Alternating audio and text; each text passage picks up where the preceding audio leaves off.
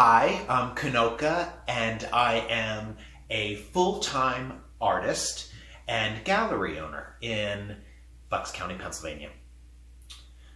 Uh, I would be too young to remember San Francisco before my father and mother split and my dad took my brother and I east to be closer to his family. I was born in 1968, uh, a second son to artist parents.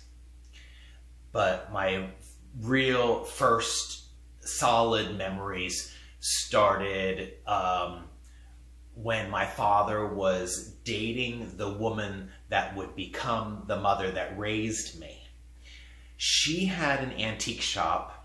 Uh, it was fascinating. Uh, a, a building, an old rope mill from the 1700s, and it had three floors. And on the on the top floor, my father had an art studio and this is some of my very first memories of being in that art studio with my father alongside him as he painted and I was painting and I can smell his the scent of his cherry pipe tobacco. Um, sometimes there were things that were a little stronger in that pipe, but um, it's clear that I have been an artist since my earliest memories. I've always, I was born an artist. There was no choice. I've done many things in between, but I've always uh, have been an artist. Um, I knew that I was gay before I knew what to call it, before it was just from I was always gay, right? So in elementary school, when all of the other kids were chasing the girls around the playground, I was attracted to the gym teacher. I, I don't know. I, I just, that's just the way it was. Um, I first heard of New Hope um, when I was very young, uh, I'm going to say 10, 11 or something, maybe 10. Um, my father was working in a print shop uh, because he was a single father raising two boys. He had to work very long hours, and sometimes he couldn't get a babysitter. And we would hang out in this print shop with him, with all the guys working and whatnot. Well, all the guys were talking about what they did over the weekend. And one testosterone fueled, muscle bound Italian guy was bragging about how he and his buddies went to New Hope and threw empty beer bottles at all of the faggots. And this, in one sentence, this not only told me that there's a place where there's a name for me and there's a place where people like me are, but um, it would also be foreshadowing for the deep homophobia that I was going to encounter in my life. Um, luckily, in intermediate school, I did meet uh, my friend Jimmy. He was my first gay friend and he had an older brother who was gay, so he knew a lot. And it was sort of a crash course into what is it like, what is it going to be like to be a gay person. And he would become my best friend and um, until 30 years later, uh, alcohol would take him. Um, but I was very lucky to have him. Um, high school was hell, and mainly because I refused to live an unauthentic life. I was just gay. If someone called me gay, I would say, yeah, that's right. You know, I'm gay. And they did not like that at all. Um, my life was threatened daily. Um, people wanted to beat me up or kill me, and um, and just because I didn't want to lie, I knew teachers that were gay. I knew other students that were gay, but nobody would admit it. Nobody would be out. Um, it was the 80s, so one thing that was helpful was that at that time, a lot of the icons that uh, were around were very androgynous. There was Boy George and Annie Lennox and, and Grace Jones. And these kind of said to me, okay, you can be gay, you can be androgynous, you can be, uh, uh, you know, blur the lines of sexuality and gender and still be a popular star. So that was kind of helpful um, in, keep, in keeping me strong and keeping me going. Um, I did take uh, uh, courses in fashion design and merchandising when I was in high school, and I was starting to tinker with music as well. Of course, I was in all the plays, and I did, you know, I was in the drama club and, and things like that. Um, my first job, one of my first jobs before I got a car, was at the Wycombe Inn. It was a restaurant, and it was owned by a gay uh, couple. the the The chef was a lesbian. The pa- the pastry chef was gay. Um, it the bartender was gay. It was the first time that I would be around gay adults that could guide me and protect me and show me things and see that you can be an active member in society and, and that would have nothing to do with your sexuality. So, so in a way, they were like my gay family, my first gay family. Um, in fact, I was probably all of 15 or 16 when the bartender took me to the Raven for the first time. And I had had a boyfriend already for a little while. So I had some experience, but nothing could prepare, prepare me for what I was going to see at the Raven at that age. Um, it was eye-opening and scary and um, but at the same time, I was still very anxious to get a car and work in New Hope and be in New Hope. Um, I ended up buying my great grandmother's 1976 Chevy Nova, and uh, I got a job at the Bucks County Association for the Blind thrift shop. So not only was I getting my funky clothes that I like to wear, but I was working at a, uh, uh, at a thrift shop where I can just like I was driving donations and stuff like that, um, and that was a lot of fun. And that led to a job where um, the owner of that place, her husband was working on an estate in New Hope, and he was kind of like their pool person and he didn't want to do that anymore. So she asked me if I wanted it. So I was just, you know, around graduating high school when I got the job at the Hochberg Estate in New Hope, where I was their pool boy for 40 hours a week, skimming leaves and cleaning filters and whatnot. And the housekeeper there kind of was my boss and she would keep promoting me. The next thing I was taking care of their show dogs and then blah, blah, blah. And um, that, that family bought, they had display companies in New York and they bought a, a shop in New Hope. They opened this shop called Sight and that was they would sell architectural furniture like sconces and columns and things that were all faux finished and they knew that I was an artist, I guess, and they asked if I wanted to help paint these these things.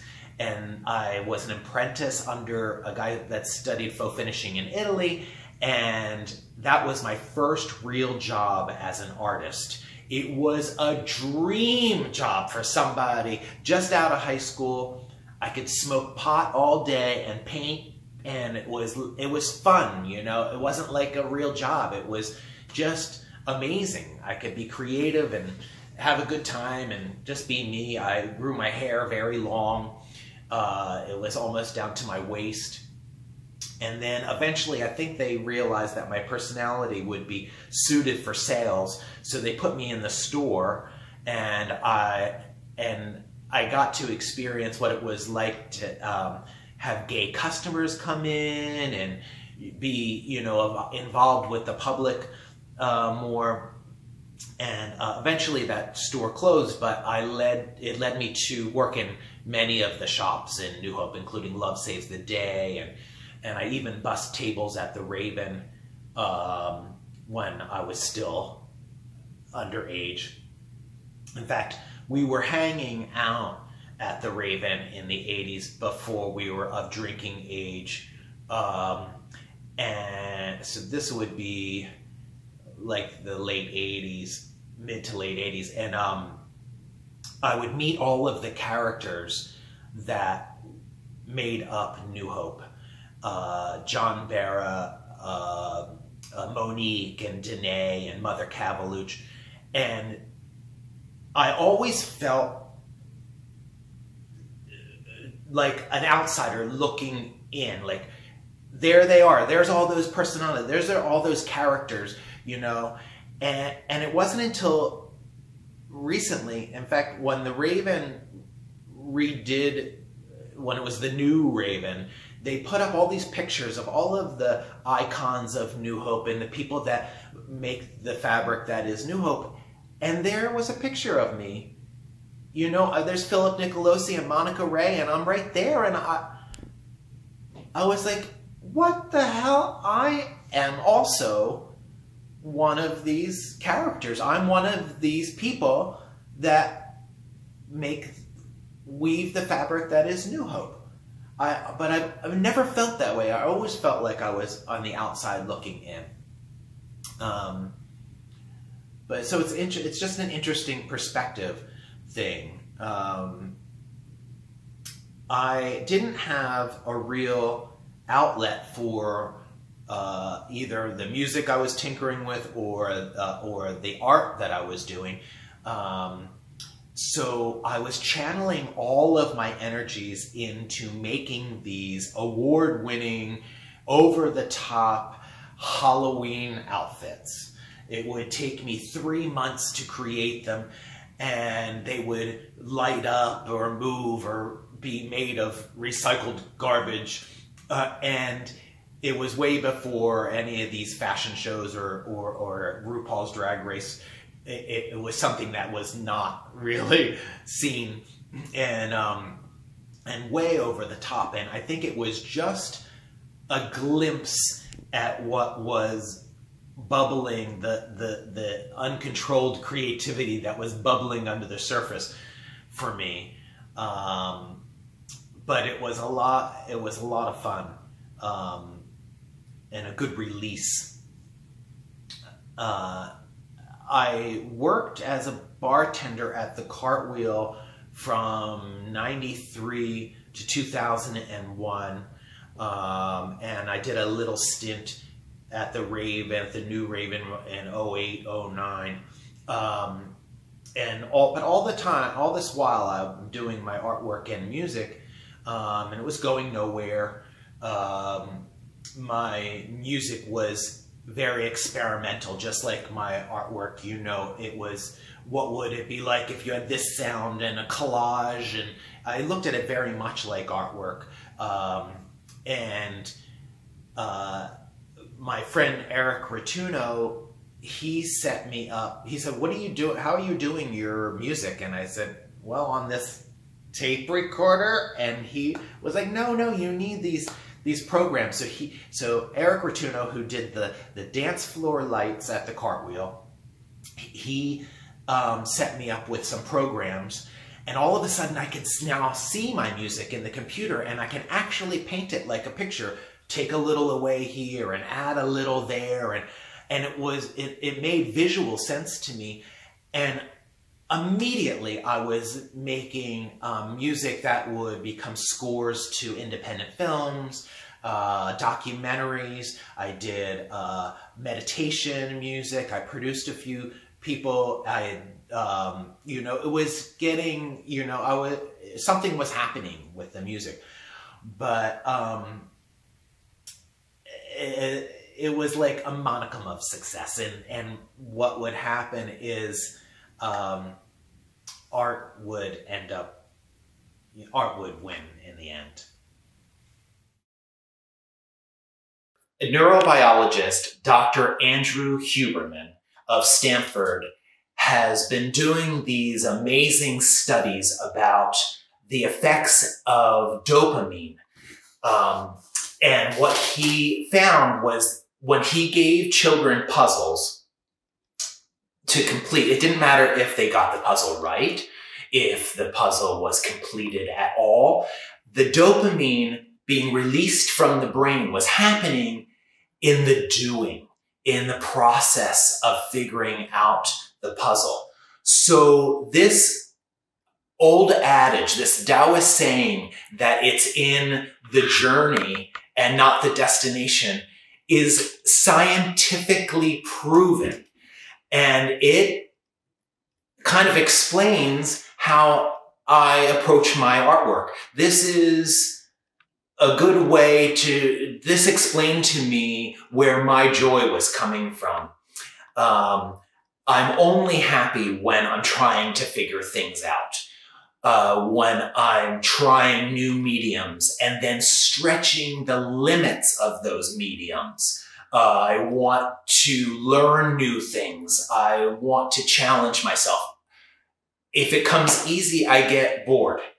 So um, because of this, I end up working in a wide array of mediums. I work in everything. I want to try metal. I want to try clay. I want to try, every time I see something new, I want to, I want to give an attempt to it. So I set up my own studio uh, this way so I can work on several things at once. I have uh, workstations so as one thing is drying, I can be working on something else. Um, and it keeps me moving. Um, inspiration is coming all the time, at every moment, even in my sleep. I, I can't keep up with it. It's so fast that as prolific as I am, I, I would never be able to catch up with the amount of ideas that are coming to me while I'm working on something, it's inspiring 10 other things. Um, I could just be doodling uh, like something, just like a little sketch, and then that ends up becoming uh, a sculpture. Speaking of doodling, I found some of my earliest saved work. If you come down here, you'll see. The these I made when I was maybe four or five years old. Um, and I'm working in negative and positive space, surrealism, typeface. Uh, it's pretty uh, illuminating. And I still do crazy faces like this to this day. so I haven't really changed much since I was four years old. Um, so like I said, each, each station is a different um, uh, thing. I can work on block printing. Uh, I have my clay work going here. Uh, this is a resin clay that I'm currently obsessed with. So sometimes when I find a medium, I'll be working on that for quite some time uh, because I still haven't explored every aspect of what I can do with that medium. Um, the things in this room, some of it's going to go into my gallery. Some of it is sold already, and most of this stuff is going into a solo show I'm having at a friend's gallery. Uh, I do like to promote other galleries. Uh, I don't care where you buy your art, just buy it from a local artist that's living. Um, don't go to these stores, box stores, and buy mass produced uh, prints you know, from home goods. It's this is it's very important that you support real, living, actual artists. Uh, it'll help. Uh, it'll help somebody, and it'll help the planet as well. Um, sometimes I, I, worked in metal, and I'll, uh, I'll do a little sketch of something. I'll project it onto a piece of steel, uh, and then cut it out with an acetylene torch and and, uh, and weld it with a MIG welder. Um, I'll combine a lot of my techniques. Uh, this has the resin clay, the, the steel, uh, all my faux finishing uh, work. Um, and so that is the studio itself.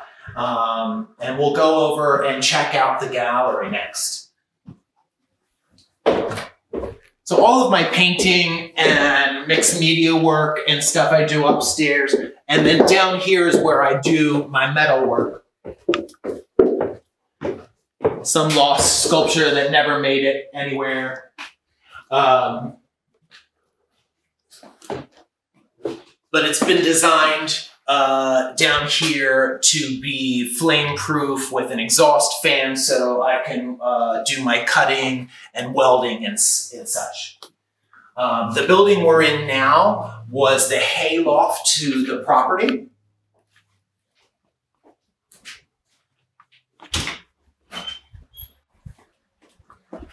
I was lucky enough to buy this property four years ago. It's uh, it's from 1850. It was the Detweiler Hay Farm.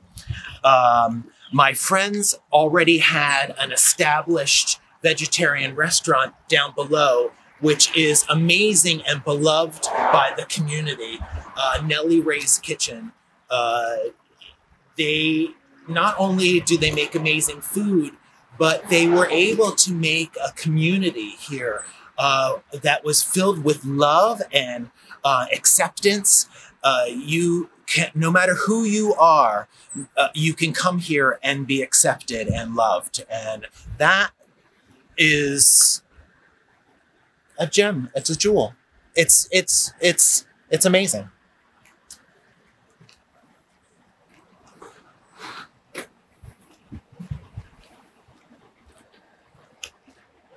So, like I said, in 1850, this was uh, a, a hay farm. But about 100 years ago, a doctor lived here with his family and he did uh, house calls with a horse and buggy out of the barn. Um, if you'd like to come and visit us, we would love to see you. We're 20 minutes maybe north of Doylestown. We're right on 611, as you can tell.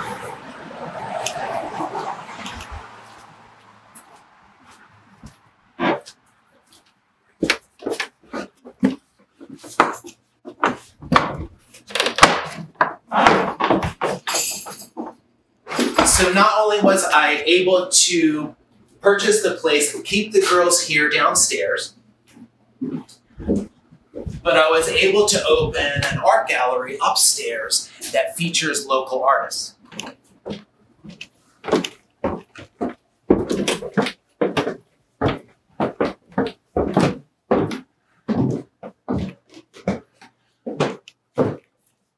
So we have eight rotating spots of local artists that I was changing out seasonally.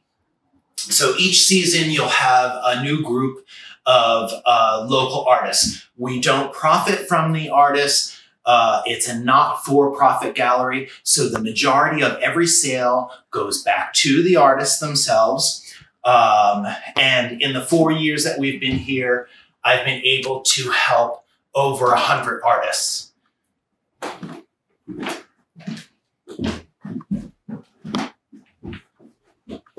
And that's the gallery. And um, I am the only ongoing exhibit. My stuff is always here. My father's stuff is always here. Um, and we'll take a little peek into the Kenoka art. So in here, you'll see it's like my mind has exploded. You'll see everything that I've done, all the works, all my experiments and whatnot. You'll see all the mediums I work in. um, and you can come and talk to me about my work. I'm very happy about um, giving advice, uh, helping people. Uh, so come and talk to me about, about anything. Um, some of the things that I overhear about my work is is that they they compare it to other artists. Is are you inspired by Henry Moore? Are you inspired by Keith Haring? And sort of. I think what happens is during my lifetime, everything that I've ever seen, everything that I've ever dreamt or experienced goes into my mind. And how it comes out, I don't know. And maybe it's partially inspired by these artists, these incredible works, but um, but it's just a jumbled mass of ideas. It could be and also inspired by whatever medium I'm working in at the time.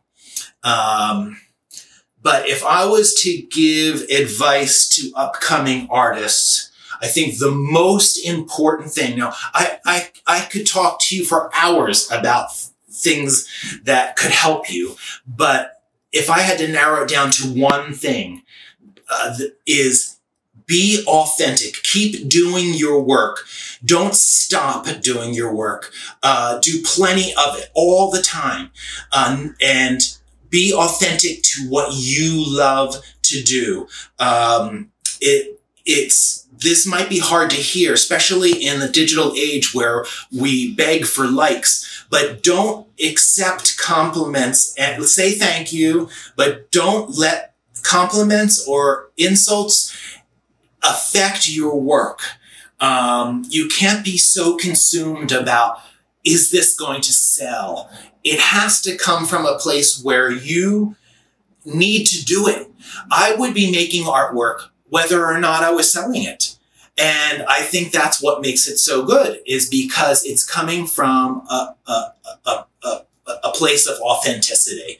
Uh, and that reads when you look at a piece, you know if someone's just trying to make something to sell something, you know.